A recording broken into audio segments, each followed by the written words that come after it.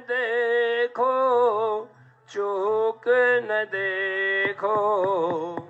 Auto गुरमुख auto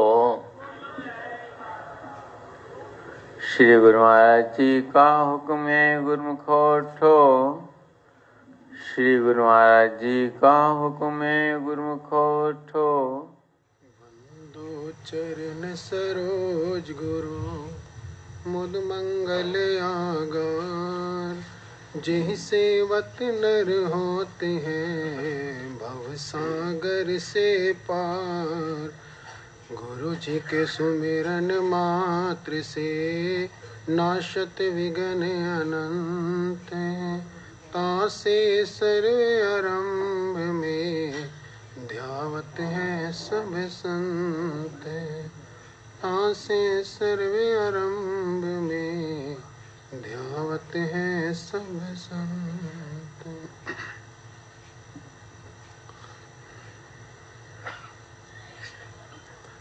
सौभाग्यशाली गुरमुख सजन मंडली, इसी प्रकार अपने मन की समस्त वृत्तियों को एकाग्र करते हुए और अपना ध्यान सन्मुख विराजमान सुंदर सिंहासन पर सुशोभित श्री श्री एक सौ आठ, श्री हजूर सतगुरु देवदाता दीनदयाल महाराज जी के सुंदर, तेजोमय दर्शन दीदार की ओर लगाते हुए एवं अपनी मुख रचना को पावन बनाने के लिए एक दफ़ा ऊँची व मीठी स्वर से मिलकर बोलो, जयकारा, बोल जी की जय। गुरुमुखो महापुरुषों के वचन हैं। एक तरफ़ भगवान है, दूजे माया जान, संसारी माया चाहे, भक्त चाहे भगवान। क्या फरमा रहे हैं कि इस संसार के अंदर हर वस्तु के दो पहलू हैं। यदि सर्दी है तो गर्मी भी है। दिन है तो रात भी है। सुख है तो दुख भी है। तो इसी तरह यदि भक्ति भी है तो साथ साथ माया भी है। लेकिन आम संसारी जीव जो है, वो हर समय माया के पदार्थों की चाहना करते हैं। माया के पदार्थों की कामना करते हैं। हमारे प्रातः स्मरणीय श्री परमहंस अवतार, श्री शेख सौ आठ, श्री तीर्थ पाशाह महाराज जी के वचन है कि जो जीव माया के पदार्थों के पीछे भागते हैं, दुनिया के पीछे भागते हैं तो दुनिया जो है उन्हें चौरासी के चक्कर में डाल देती है। यदि जीव भक्ति की चाहना करते हैं, हमारी चाहना करते हैं तो माया तो उनके पीछे पीछे नाचती है, भक्ति भी मिलती है और हम भी उन्हें साथ में प्राप्त होते हैं। करा बोल मेरे श्री गुरु। तो इनके, इसके विपरीत जो गुरमुख जन होते हैं, वो हर समय भगवान की चाहना करते हैं कि हमें भगवान के चरणों का प्यार मिले, उनके पावन श्री चरण कमलों की भक्ति मिले। क्योंकि उन्हें यह ज्ञान मिल गया है, यह विचार मिल गया है कि इस संसार के अंदर यदि कोई अपना सच्चा हितेशी है, कोई सच्चा साथी है तो वह केवल और केवल श्री सदगुरुदेव महाराज जी हैं। श्री आरती विनती के अंदर हम रोज़ाना गायन करते हैं कि तुम बिन कोई मीत नहीं, स्वार्थ का संसार बिन स्वार्थ सतगुरु करे, निष्दिन पर उपकार कि इस संसार के अंदर अगर अपना कोई सच्चा मीत है, कोई सच्चे रक्षक है तो वह केवल और केवल वक़्त के संत महापुरुष जो बिना किसी स्वार्थ के हम जीव की भलाई में दिन रात लगे रहते हैं। इसीलिए जो सच्चे प्रेमी होते हैं, जो सच्चे गुरमुख होते हैं, वो हर समय अपने सदगुरु के चरणों का सहारा लेते हैं, उनकी ओट आसरा लेते हैं। प्रेमी भजन में भी बोलते हैं कि तेरा एक आसरा होवे, सहारे ही सहारे ने, तेरे चरणा विच निभ जावे, गुजारे ही गुजारे ने। ओ बेड़ी डुब नहीं कि जिस दा तू मला होवे ओनु मज़ेदार अंदर भी किनारे ही किनारे ने तो गुरुमुखो जो अपने आप को पूर्ण रूप से सदगुरु के चरणों में समर्पित कर देता है अपने जीवन की बागडोर को सदगुरु के चरण कमलों में सौंप देता है तो फिर उसे किसी और सहारे की ज़रूरत नहीं होती तो यह महापुरुषों की कितनी असीम कृपा है कि जो हम सब गुरमुख जन अपने श्री सदगुरुदेव महाराज जी के पावन श्री चरण कमलों में हमें बैठने का जो सौभाग्य प्राप्त हुआ है, यह महापुरुषों की बड़ी रहमत है। हमारे श्री सदगुरुदेव महाराज जी हमें रोज़ाना भक्ति के मार्ग पर प्रेरित करते हैं कि गुरुमुखो, भक्ति के नियमों की पालना करो। रोज़ाना दो घंटे भजन ध्यान करो। यदि हम इन नियमों की हित से पालना करते हैं तो हमारा प्रेम जो है सदगुरु के चरणों में बढ़ता जाता है। और महापुरुषों की प्रसन्नता भी हम सेवकों पर उतरती है। श्री सतगुरुदेव महाराज जी के वचन है कि जो प्रेमी इन भक्ति के नियमों की हित से पालना करता है, वह कहीं भी रहे, हम उस प्रेमी के पास पहुंचकर उसकी हर मांग को पूरा करते हैं। तो यह कितनी अपार कृपा है। ऐसा ही एक बार हमारे श्री सदगुरुदेव महाराज जी जब भी बेंगलोर आश्रम में कृपा फरमाते तो वहाँ पर एक स्कूल है, आनंद शिक्षा केंद्र। तो स्कूल में जाकर के बच्चों का उत्साह बढ़ाते, बच्चों से लीलाएँ करते तो बच्चे भी जो है, बड़े खुश हो जाते और श्री सदगुरुदेव महाराज जी के चरणों में दोहे सुनाते, भजन सुनाते, नाटिकाएँ पेश करते।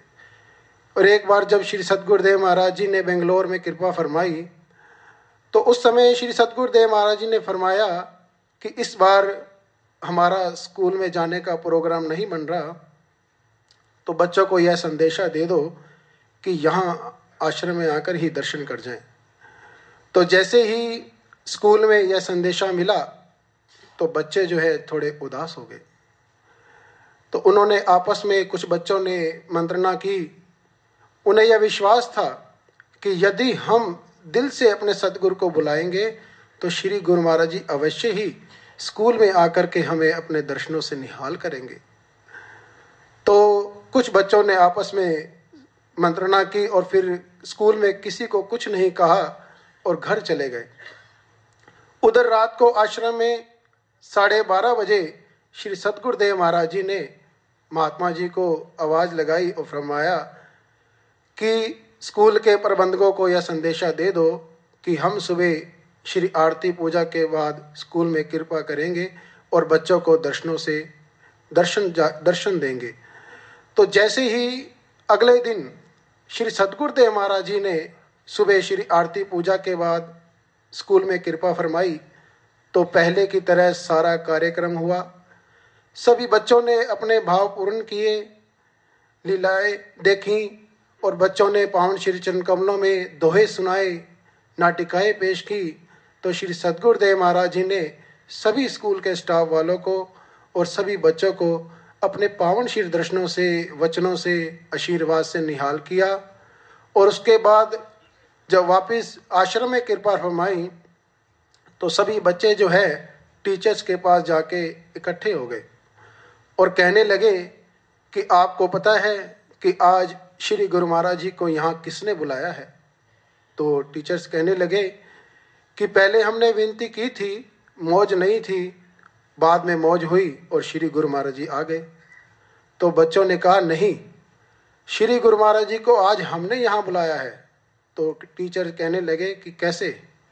तो बच्चों ने कहा कि, जब हम यहाँ से घर गए, ना तो हमने खाना खाया, ना ही दूध पिया और श्री गुरु महाराज जी के चरणों में यह प्रार्थना की कि हे प्रभु, आप तो बड़े दयालु हो, हमें स्कूल में आकर के दर्शन दो। इधर आपको संदेशा बाद में मिला, हमें रात को सपने में आकर फरमा गए कि बच्चों, उदास मत हो, हम तुम्हें सुबह स्कूल में आकर के दर्शन देंगे। कारा बोल मेरे श्री गुरु। तो यह होता है महापुरुषों के चरणों में प्रेम और श्रद्धा और विश्वास। यदि हम दिल से अपने सदगुरु को बुलाते हैं, पुकारते हैं तो महापुरुषों को भी वहीं प्रेमी की पुकार को सुनना पड़ता है। और उस प्रेमी की पुकार को सुन के महापुरुष जो है, उसे अपने पावन वचनों से, आशीर्वाद से निहाल करते हैं। तो यह कितनी अपार कृपा है महापुरुषों की, जो हमें अपने पावन श्री चरण कमलों में हमें चरण शरण मिली है।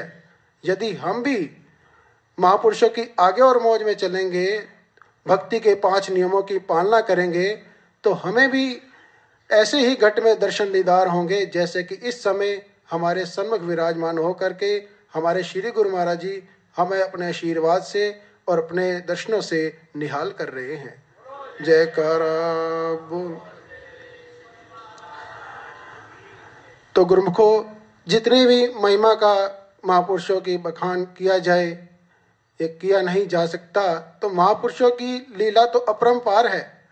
हमारे श्री सदगुरुदेव महाराज जी फरमाते हैं कि जो प्रेमी सच्चे दिल से हमें याद करता है, हम उसकी पुकार को सुनते हैं।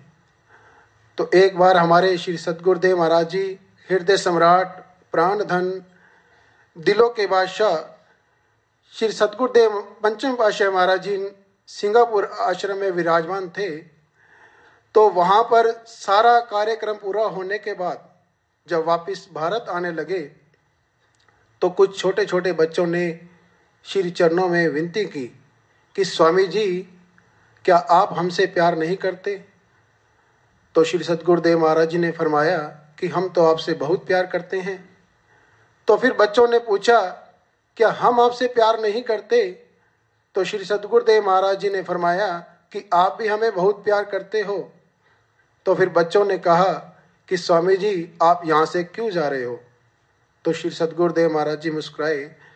कि बच्चों के भोले भाव होते हैं, भोले प्रश्न होते हैं, भोले भाव पर ही श्री गुरु महाराज जी रीझते हैं। तो श्री सतगुरुदेव महाराज जी ने फरमाया अच्छा ये बताओ कि प्यार कहाँ होता है? तो बच्चों ने कहा कि स्वामी जी, प्यार दिल में होता है। तो फिर श्री सदगुरु देव महाराज जी फरमाने लगे कि तुम जिनसे प्यार करते हो, उन्हें कहाँ बसाते हो? तो बच्चों ने कहा कि स्वामी जी, दिल में बसाते हैं। तो श्री सदगुरुदेव महाराज जी फरमाने लगे कि दिल कहाँ पर है? तो बच्चों ने दिल पर हाथ रख के फरमाया कि स्वामी जी, दिल यहाँ है। तो श्री सदगुरुदेव महाराज जी फरमाने लगे कि हम कहीं नहीं जा रहे। हम तो तुम्हारे दिल में विराजमान हैं दिल में विराजमान थे और हमेशा हमेशा तुम्हारे दिल में विराजमान रहेंगे। बोलो जय कर बोल मेरे श्री गुरु महाराज। तो कितनी भारी रहमत है महापुरुषों की हम सेवकों पर। हमेशा हम सेवकों का ख्याल रखते हैं। तो हमारा भी गुरुमुखों यह फ़र्ज़ बन जाता है कि जो महापुरुषों ने हम सेवकों के कल्याण के लिए पाँच भक्ति के जो नियम बनाए हैं हमें इन नियमों की हित चीज़ से पालना करनी है। यदि हम इन नियमों पर रोज़ाना इन नियमों की पालना करते जाएँगे और जो दो घंटे भजन ध्यान जो महापुरुषों ने हम कर, हमारे कल्याण के लिए जो हुक्म किया है कि यदि जीव इन दो घंटे रोज़ाना भक्ति के नियमों की पालना करेगा और भक्ति के नियमों पर चलेगा तो उसका ये लोक भी सुखी होगा पर लोक भी सुहेला होगा और महापुरुषों की कृपा और प्रसन्नता हमेशा हमेशा हम जीवों पर बरसती रहेगी। बोलो, जयकारा